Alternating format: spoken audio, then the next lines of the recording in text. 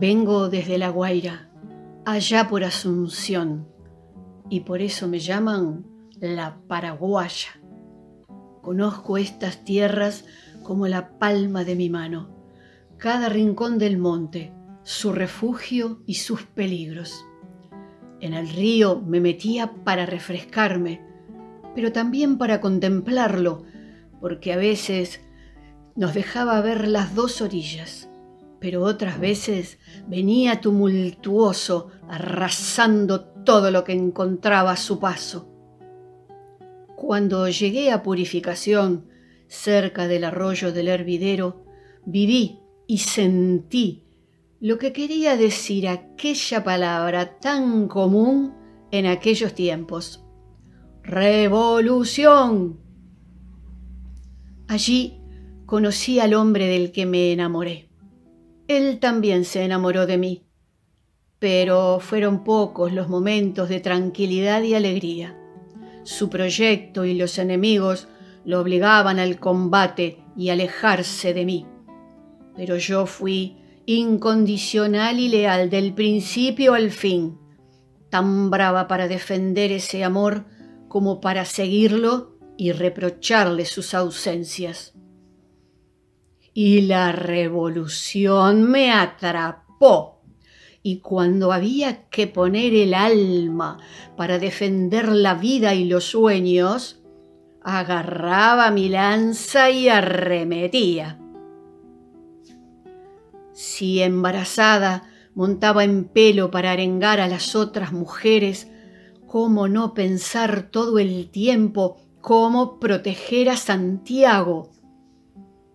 A veces, cuando en el fogón tocaba la guitarra para aliviar las angustias, rodeada de amigos leales, imaginaba cada respuesta ante cada peligro.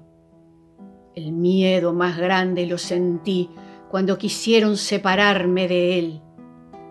Sobre mi cadáver te lo entregaré. Defendiéndonos como podíamos en medio de la guerra, levantaba murallas para proteger a mis hijos. Me escondí en el monte cuando ellos fueron convertidos en botín de guerra. Cansada, hambrienta, huyendo de las fieras animales y de las humanas, logré salvarlos. Pero al final, otra vez, desgarrada por la ausencia del hombre que amaba, y por empezar a pensar qué sería mejor para mis hijos, sobre todo para Santiago, que ya era mayorcito, y porque eso también es amor, cedí. En otro lugar, con otra familia, tendría su mejor futuro. Así me separé de él. Fue un hombre de bien, no me olvidó. Y al final, y en aquellas circunstancias, y más allá del dolor, me sentí orgullosa de él y tranquila con mi decisión.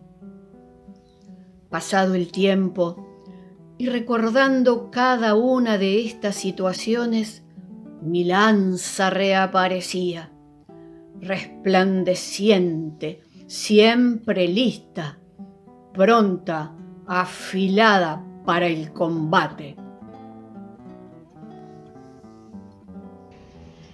Yo quiero contar esta historia para que no quede en el olvido.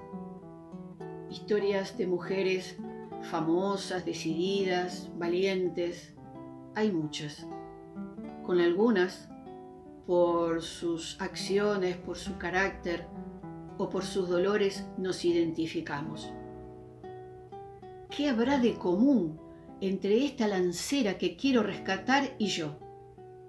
Seguro que el tiempo no nos acerca las circunstancias de la vida tampoco. Pero sí, ambas tenemos varios perfiles, hemos atravesado diversos roles, algunos impuestos, otros producto de decisiones personales, y a partir de allí enfrentando las consecuencias. Diversos roles como tantas mujeres, hija, esposa, madre, profesional, militante, destituida de la enseñanza durante muchos años. ¿Cuántos puntos de contacto? ¿Cuántas diferencias?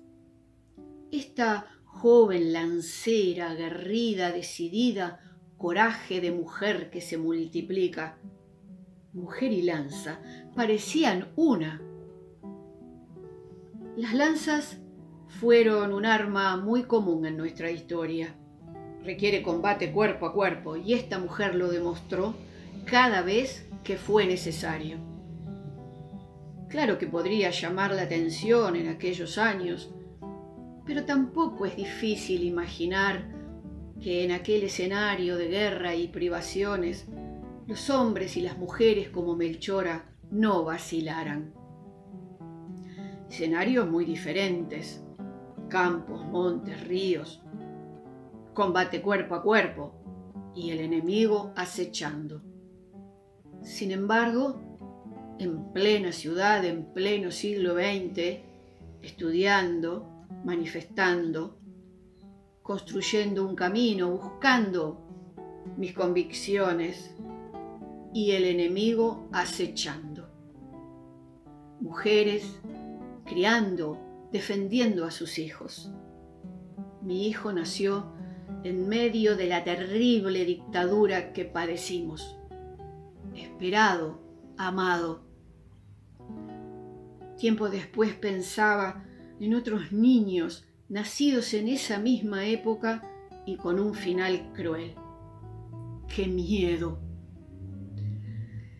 Entonces, a pesar de las distancias, quiero rescatar a esta mujer, a quien la historia ha escondido reiteradamente. Mostrarla es hacer visible la diversidad de la dimensión del valor que ella representó. Y humildemente como mujer, encontrarnos en algún punto, defendiendo principios, tal vez ideales, luchando, hombres y mujeres, por un mundo de igualdad y solidaridad. Criar a los hijos, verlos crecer aún en la adversidad. Claro que yo no tuve que separarme de mi hijo, como finalmente tuvo que hacer Melchora. Pero eso también es un acto de amor. Entonces el amor tiene infinidad de aristas nos protege, nos impulsa, se proyecta y de alguna manera nos hace mejores personas, nos da fuerza para continuar la lucha por la vida, compartiendo, porque no se puede construir individualmente. Melchora es el personaje de esta historia que no quiero olvidar. Ella tampoco estuvo sola otros hombres y otras mujeres con la misma fuerza y la misma decisión empuñaron sus lanzas.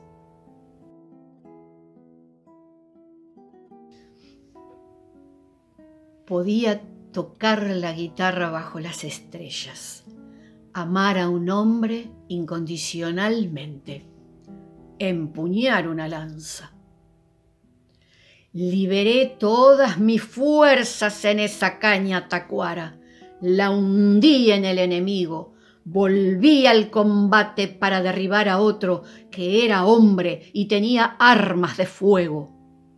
Nada me detenía en aquellos durísimos momentos. Las escenas eran terribles. Hombres, mujeres, caballos, emboscadas, jirones de ponchos, jirones de cuerpos en la tierra.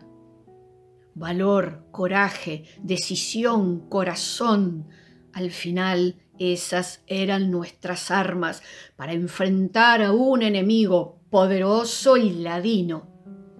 Venía del imperio del Brasil, que siempre quiso someternos, siempre a sangre y fuego y en aquel momento encontró a un pueblo que en medio del dolor y la miseria se defendía con honor y orgullo.